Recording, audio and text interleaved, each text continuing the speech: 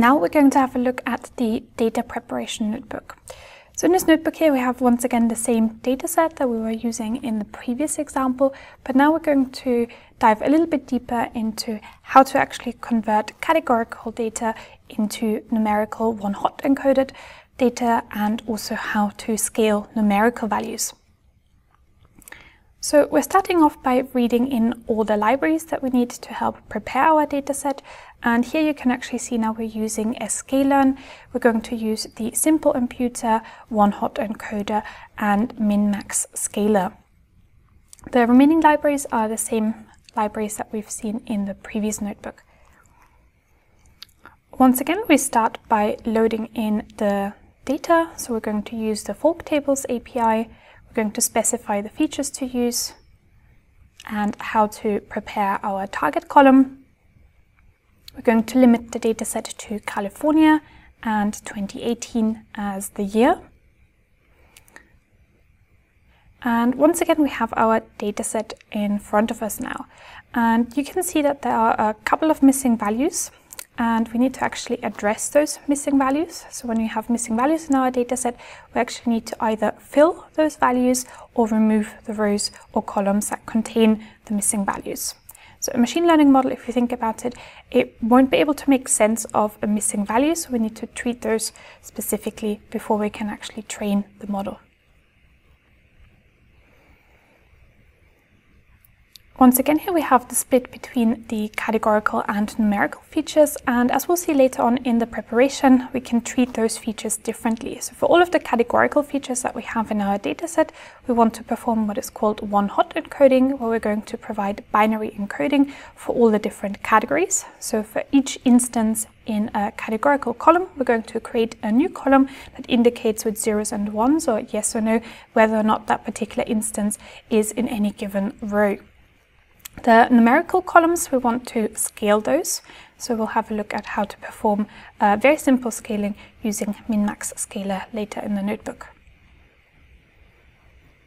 And here we just have the example of how to split the model features and the target. And this is just to make sure that the target does not end up in the set of features that we use to train the model.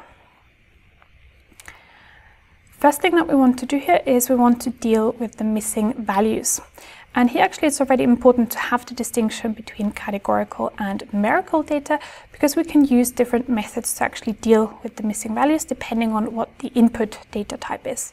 So let's say we have a numerical column, well then we could fill the missing values with the mean of the column. So that would be one example.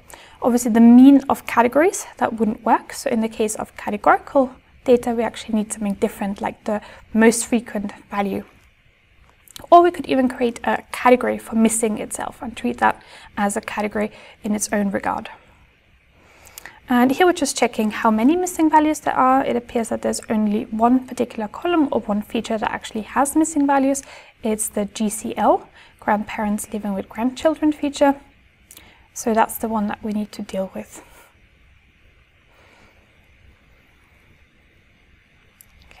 And as you can see here, we have one imputer for numerical, where the fill strategy is going to be to replace all the missing values with the mean of the column. And for categorical data, we're going to use a constant value with the fill value being missing. So here we're actually creating a category for missing values themselves.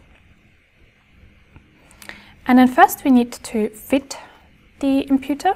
So this is going to learn, if you think again back to the numerical example, there might be multiple numerical columns in the dataset, and each column would obviously have a different mean. So we want to use the fit method to find out what those means are, and then in the transform stage, which comes just below, we're actually going to apply the filling of the missing values.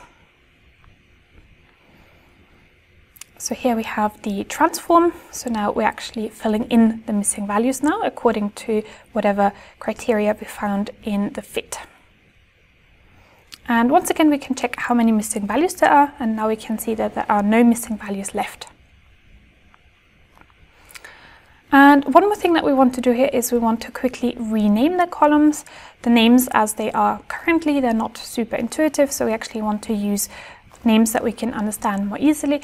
And the idea is that once we get to the bias mitigation stage, or once we actually start grouping based on different attributes, it will be helpful to know what the columns refer to more easily without having to refer back to the metadata dictionary at all times. So here we're creating a dictionary with our own encoding, and then we're going to apply this and rename the columns accordingly.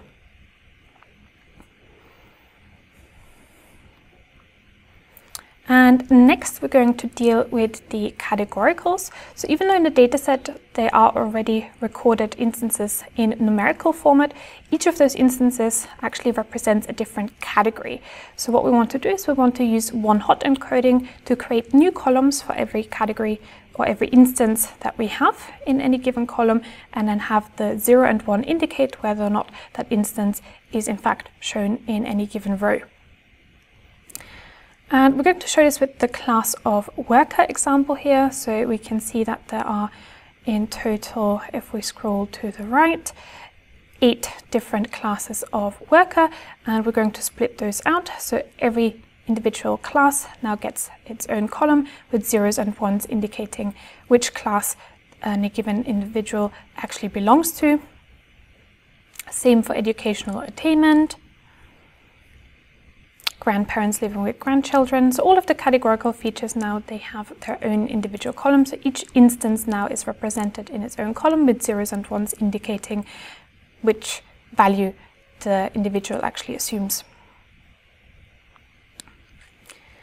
The final thing that we want to look at is scaling the numericals. And this is very important in machine learning because there are a lot of distance measures that actually depend on the scale of the data. So we need to always scale our data. And here we have an example of how to do that using the min-max scaler. And you can see here we initialize the min-max scaler. And here we're going to take a shortcut. Instead of doing fit and transform in separate steps, we're going to combine both in one. Fit, once again, that would be finding, let's say in this particular example of min-max scaler, it would find the minimum of any given numerical column, the maximum and so forth, and then the transform actually performs the operation of transforming and enacting the scaling. And we're going to do this on all the numerical features and we can have a look at the results down here. So we can now see that the age and the hours worked weekly in the past year and also the weight column that we have in this data set are now scaled.